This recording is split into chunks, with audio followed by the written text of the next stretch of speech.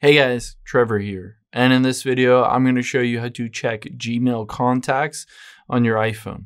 It's pretty quick and easy, so let's jump right in.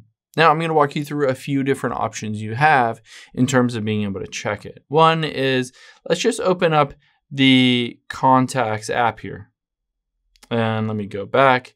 I can tap on this at the top left, and you'll see there Gmail. I can tap on it, and it'll show me every single contact that is synced up from my Gmail account onto my contacts app.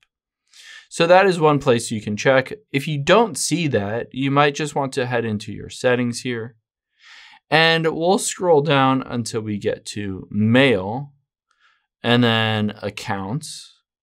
And of course, you need to find that Gmail account. So let's tap on it here and you'll see contacts as a list. So if that is toggled off, you just want to basically toggle it on and it will sync up all your contacts from your Gmail account to your phone itself.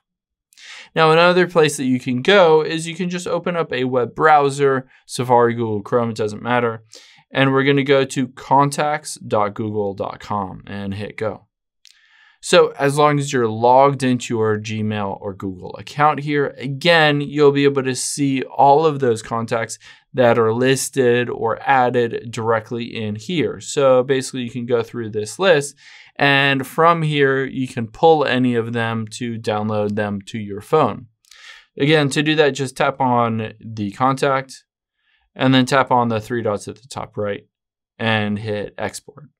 And now all you have to do is tap on this vCard and hit export and you'll be able to get that contact directly installed onto the contacts app on your phone.